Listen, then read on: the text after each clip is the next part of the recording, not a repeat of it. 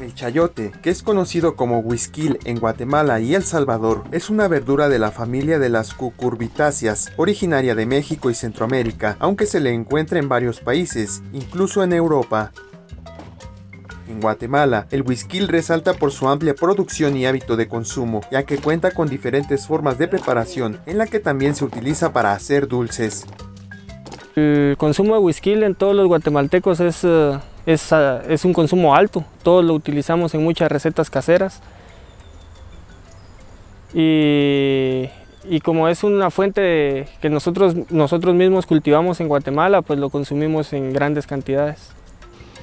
La mayor región productora de whisky en Guatemala es el municipio de Palencia, donde se cultivan gran variedad de esta verdura, de la cual la comercialización a gran escala, tanto nacional como internacional, recae en un tipo llamado verde liso. A grandes eh, rasgos, la, la región de Palencia produce cerca de, de 100.000 whiskiles diarios, que eso nos equivaldría a 100 quintales o 200 quintales de, de whisky diarios, solo en la meseta central de Palencia. Para los guatemaltecos, el whisky resulta ser un gran alimento, ya que para ellos no hay gusto mayor que comerse uno cocido en cualquier mercado del país.